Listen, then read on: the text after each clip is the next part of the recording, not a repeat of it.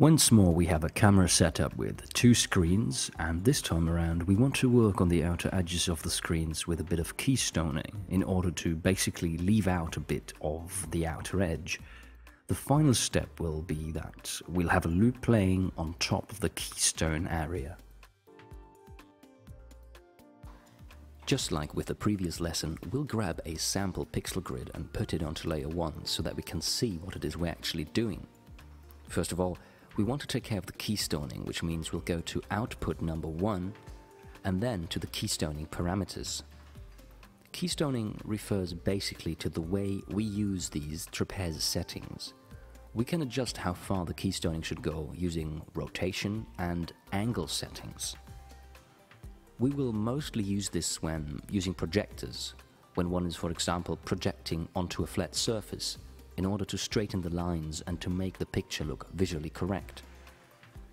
We're using a slightly different setup using monitors here, but the principle is the same. This would come in use, for example, in case the monitors or screens are part of a theater stage design where the edges are behind the set pieces, but we might still want our picture only to be visible within the boundaries of the set piece.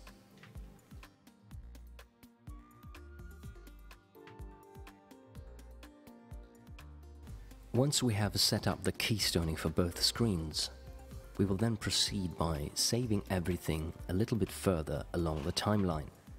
And with the outputs this way, we'll just make the clips a little bit longer so that we have these settings on the timeline. Select them and make them a little bit longer. And now we can select our cameras once more, and using the Align command at the bottom right, we can move the X offset simultaneously towards the right position. We'll save this to the timeline as well once we've done it.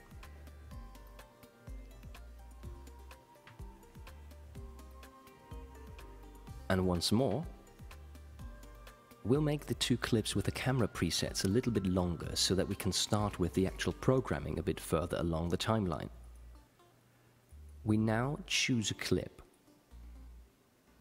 And once we've chosen the clip, we'll move up the opacity set it to play loop.